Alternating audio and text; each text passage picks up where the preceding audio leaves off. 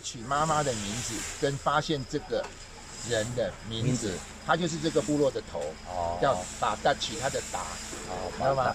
然后因为这个这个我们山下族称那个橘子嗯。叫优有优，为什么呢？就是一开始他发现的时候吃的时候很酸嘛，哦酸酸。哦有有有有有，大家都啊，就就是有，对，大家都不晓得要怎么，因为你会用优，啊，所以我们用这个嘎达优。